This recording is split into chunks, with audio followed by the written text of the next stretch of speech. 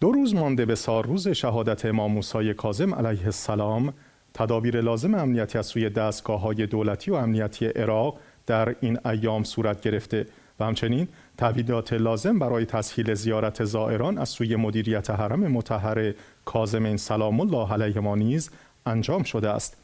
وزارت کشور عراق و مدیریت حرم متحر کاظم سلام الله علیه ما به صورت جداگانه از اعلام آمادگی کامل خود برای میزبانی مناسب از زائران حضرت موسی بن جعفر علیه السلام سخن گفتند با هم گزارش علی اکبری را ببینیم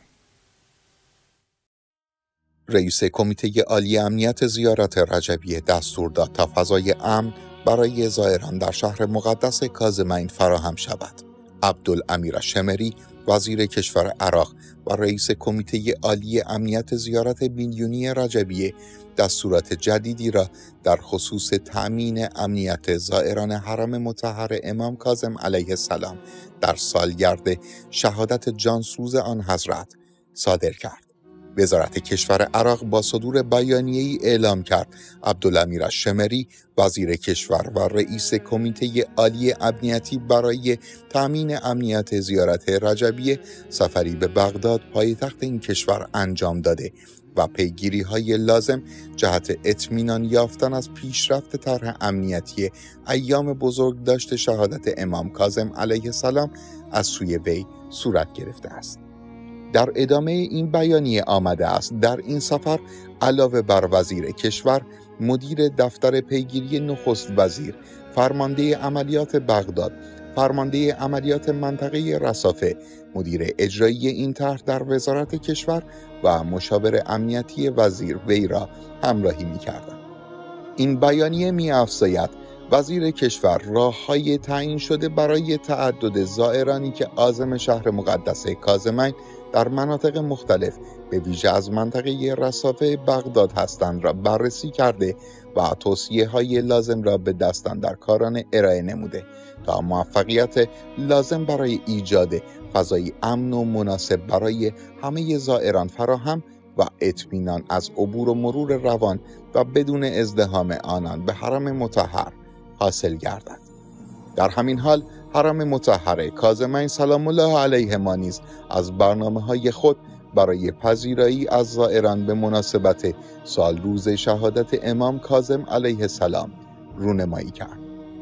دبیرخانه حرم متحر کازمین سلام الله علیه ما روز یکشنبه آمادگی کامل خود را برای پذیرایی از میلیون ها زائر که برای بزرگ داشته زیارت ویژه شهادت امام کازم علیه السلام به این حرم متحر میآیند اعلام کرد.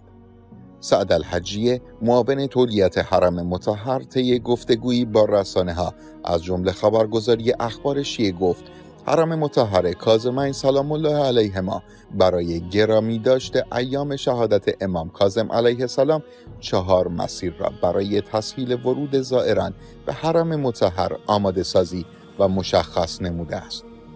وی در ادامه تصریح کرد تمامی شرایط لازم برای ورود آسان زائران به حرم متحر و حرکت روان و بدون ازدهام در داخل